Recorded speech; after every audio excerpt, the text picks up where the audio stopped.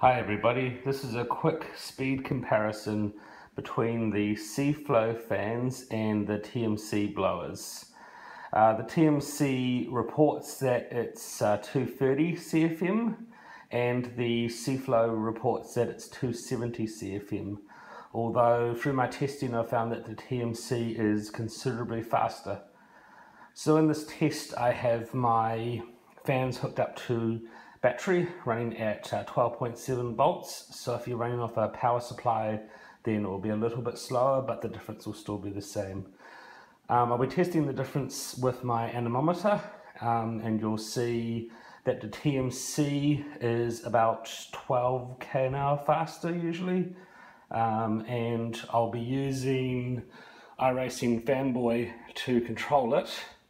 So what I'll go ahead and do is I will switch them on to full speed and then I'll hold my anemometer up and you'll be able to see the difference.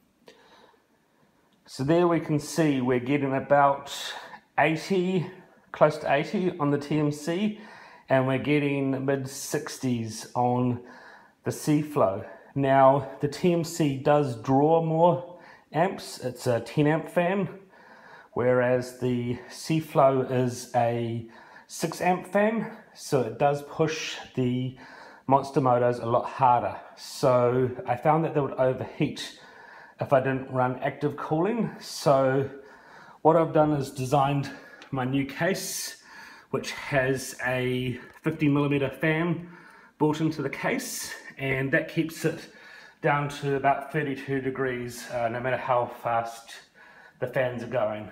I've got the fan hooked up to the fan number A, so it will ramp up with the speed of the main blowers. So the faster you go, the faster the cooling fan will go and it keeps it at 32 degrees no matter what you do. Um, so yeah, these TMCs are faster, but they're a lot harder to run.